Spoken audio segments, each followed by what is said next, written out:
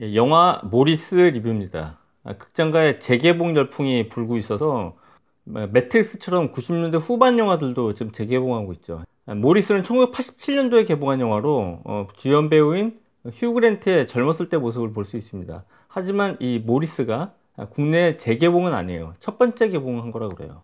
1987년도에 개봉한 영화가 왜 지금 처음으로 개봉하느냐.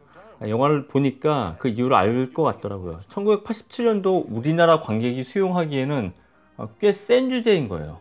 이 영화 시사회 제가 좀 알고 있는 사람이랑 같이 갔어요. 그 사람이 남자였는데 받고 표 받고 그 커플석에 앉았어요. 거기가 편하기 때문에 영화를 보고 있으니까 이게 남성 동성애 영화, 그러니까 퀴어 무비라고 보통 부르죠. 어, 퀴어 무비더라고요.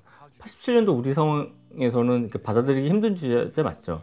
아, 영화 도입부에 바닷가에서 어떤 서, 선생님이 어린 아이한테 어, 남녀의 성관계에 대해서 그림으로 설명해주는 그 성교육 그 장면이 나와요. 그때 그 성교육을 받고 있는 그 어린 소년이 어, 영화 속 주인공, 그 영화 제목이기도 한, 이기도 한 그 모리스입니다. 그 모리스가 나중에 성장해서 자기 안에 숨어있는 동성애의 욕망을 발견하는 그런 스토리? 예, 그게 이 모리스의 내용의 전말이에요. 영화 안에서 연동이란 말이 계속 나오더라고요. 근데 마치 금치어처럼 쓰이길래 무슨 뜻인가 하고 집에 가서 찾아봤더니 아, 미소년 어, 하고 이게 동의어로 보통 쓰이는 말이더라고요. 영화의 무대는 1990년대 초반, 그러니까 20세기 초반의 영국 상류 사회예요. 그래서 그 안에 이렇게 등장하는 등장인물들이 사회 상류층 사람들입니다. 그러니까 어려움이 별로 없어요. 극 중 등장인물 그 두 명 가운데 그 클라이브, 휴 그랜트가 연기하는 클라이브는 정치인이 되고 그 영화 속의 진짜 주연인 그 모리스는 어, 금융계에서 일을 하게 돼요. 자기 안에 있는 그 동성애를 드러내지 못합니다. 왜냐면 저도 이번에 알았는데 20세기 초반 영국에서 동성애는 그 처벌 대상이었더라고요. 그래서 잡히게 되면 풍기물란죄로 잡혀서 태형, 매 맞는 거죠. 태형을 처해지거나 아니면 징역형에 처해졌다고 해요. 그리고 사회적으로 매장되는 거죠. 이처럼 당시에 금지된 어떤 연애 감정, 동성애 감정을 영국이란 그 계급 사회하고 이게 잘 결합시켜서 이야기를 풀어나가는데 그게 굉장히 노련합니다. 극 중에서 클라이브, 휴그랜트, 휴그랜트는 세속적으로 성공하기 위해서 자신은 동성애자인데 여자랑 결혼해가지고 순탄한 삶을 살도록 자기 스스로 선택을 합니다. 주인공인 모리스는 클라이브라는 그 친구의 집안에서 그 일하고 있는 하, 하인 가운데 청년이 있어요. 근데 얘도 또 동성애자네. 충분히 다른 이 하인하고 연애를 해요. 사회적으로 이제 법, 적으로 처벌될 소지가 있는 그 동성간 연애를 계급이 낮은 어떤 사람하고 어, 실행하는 거 이게, 이게 모리스의 결정인데 이게 이 영화의 그 중심이 되는 거예요. 왜냐면 그런 관계는 굉장히 위험하니까 자기의 성정체성을 수호하면서 위험을 감당하는 그 모리스의 결단 이게 아마 동성애 문화에서 좀 환호를 받은 어떤 대목인 것 같아요.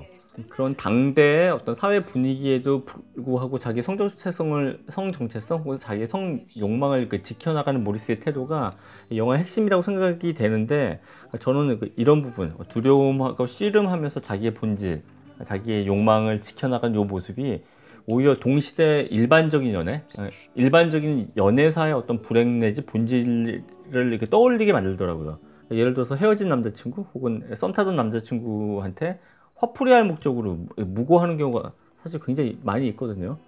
그런데 이, 그 일이 폭발한 게 저는 이게 미투라고 봐요. 물론 미투에는 잘못된 가해 남성이 물론 있습니다. 하지만 상당히 많은 수의 그 남자가 실은 썸 타다가 혹은 연애하다가 불행하게 헤어졌을 경우 여자가 그냥 이렇게 폭로를 해서 무고한 경우가 굉장히 많이 있거든요.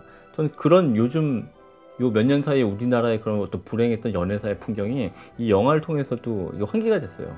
속에서 주인공 모리스가 자신의 동성 연인 그 하인하고 박물관에서 뭐 작품을 갖다 구경하다가 옛날에 자신한테 남녀의 성관계가 어떤 것이다라고 성교육 시켜준 그 선생님을 만난 장면이 있는데 거기가 봤더니 대형 박물관이더라고요. 그래서 유심히 봤죠.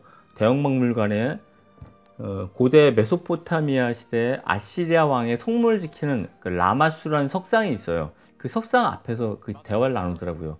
유심히 봤는데 그 주인공 모리스하고 그의 청년 애인이 무슨 말을 하냐면 라마스의 석상에 다리가 다섯 개로 묘사가 돼 있어요. 그러니까 원근법을 묘사하다 보니까 네 개의 다리를 다섯 개로 만든 건데 얘네들이 어, 다리가 다섯 개라고 이렇게 웃는 장면이 있는데 이게 아, 동성애에 대한 약간 좀 재밌는 풍자처럼 보였습니다.